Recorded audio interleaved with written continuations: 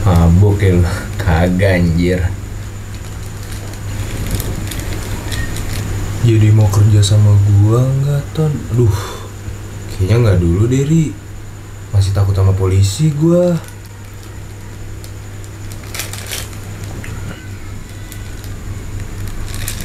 Wes. Nita. Baik-baik Nit. Cuma lagi agak nggak enak badan aja gua. Mana nggak dikasih libur lagi sama si bos. Ini aja gue diem-diem. Lo sekarang gawe di mana Nit? Binatang kamu ya. Kamu kalau nggak mau kerja sama saya bilang. Masih banyak pengangguran mau kerja di sini. Masih kecil banyak tingkah kamu. Setan kamu ya. Males-malesan aja kamu gak usah kerja kamu, ya. Males-malesan. Gaji kamu saya potong ya.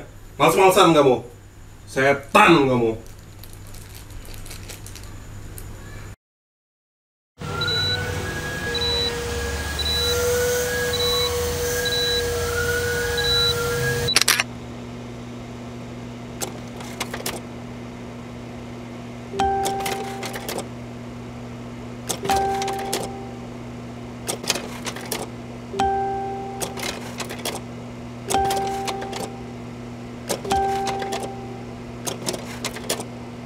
Halo guys, buat kalian yang mau cuci mobil, sini datang ke Karwas Wijaya. Pasti mobil kamu bersih. Jangan main HP terus, kan diomelin bos lagi loh. Ya elah mas, gua kan cuma bantu promosiin Karwas aja. Yuk guys, nanti cucinya sama gua ya, biar gua dapet bonus.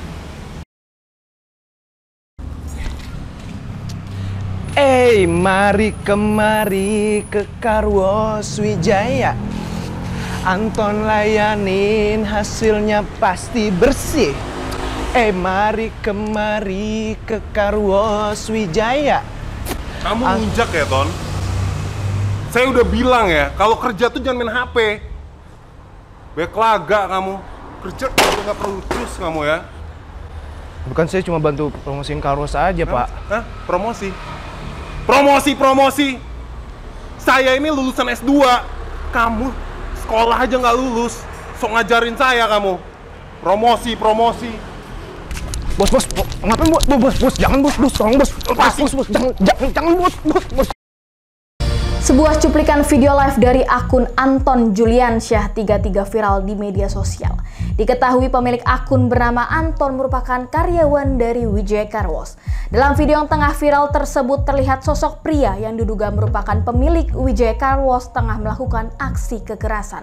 Hal tersebut membuat para netizen geram, mengecam dan juga memulai aksi boykot di media sosial. Hingga detik ini, tagar boykot Wijaya Karwas tengah menjadi trending di berbagai platform dan para ahli hukum menilai hal tersebut dapat dipidanakan. Wih, wih, ya lagi viral nih boy. Woi, PA, ngapain lu rekam sih? Ya lah gue share ke grup doang. Ke mana? Wah, mas, nongkrong dulu. Buru, buru, buru, Rik, buru, Rik.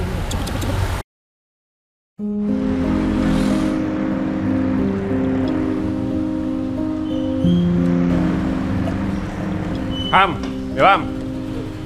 Ya bos, Itu mobil-mobil kok pada nggak jadi nyuci?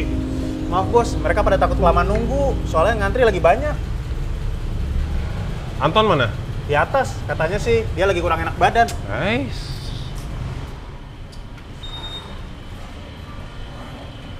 Diem-diem.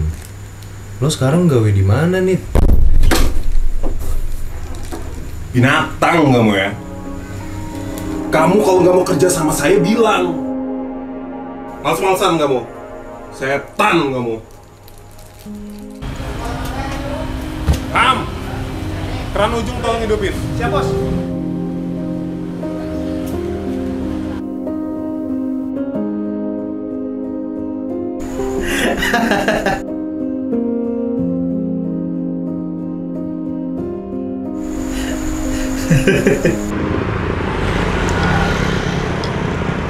Halo?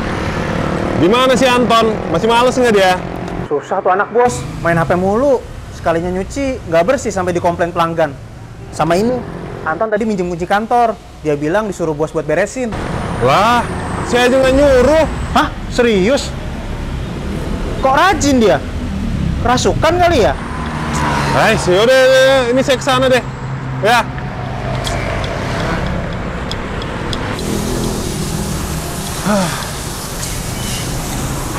Ham, oi, kunci kantor mana? Masih di kantor bos. Sini Bu. berhenti berhenti. Kunci kantor mana? Lu kunci dibawa-bawa lu ini.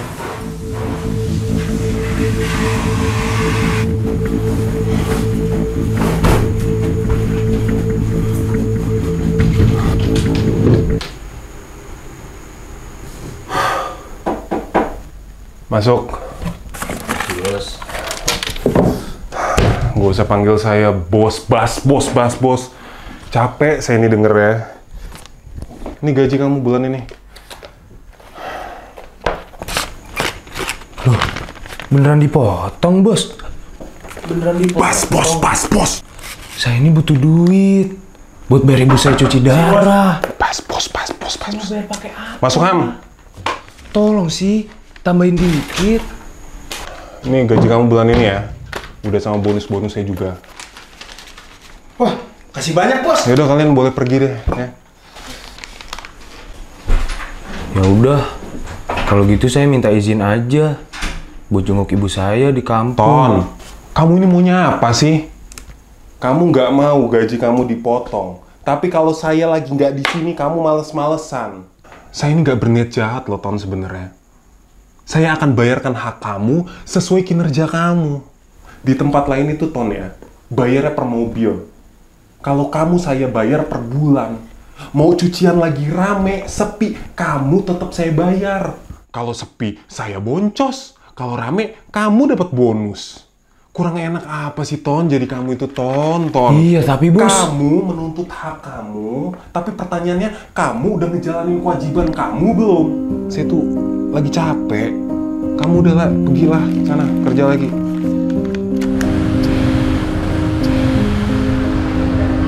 Loh, Pak Wawan.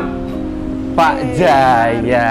Sudah lama Pak di sini? Saya sudah dua jam loh Pak di sini. Itu kok karyawannya lama banget ya nyucinya ya. Saya ada meeting ini sama Pak Gubernur. Saya misi ya. Kamu nunjak ya, Ton? Kerja kamu nggak perlu kamu ya.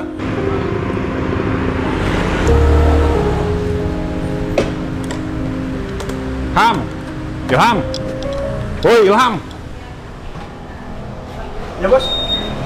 Itu pintu kantor kok kebuka gitu? Lah, Anton kan beres-beres. Saya kira bos yang nyuruh. Gimana dia mau beresin kantor? Orang kuncinya aja ada di saya.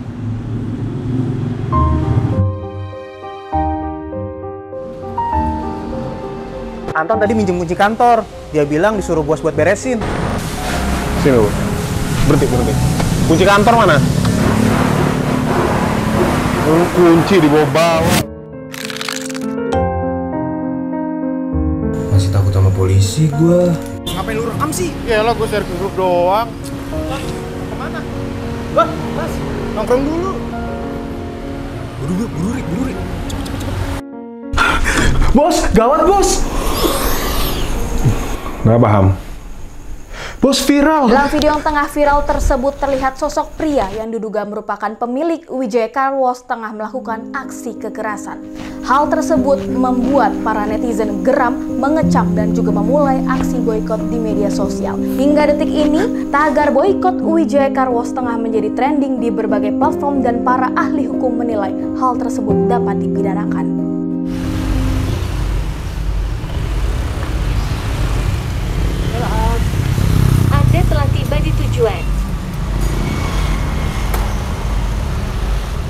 Terminal, Pak.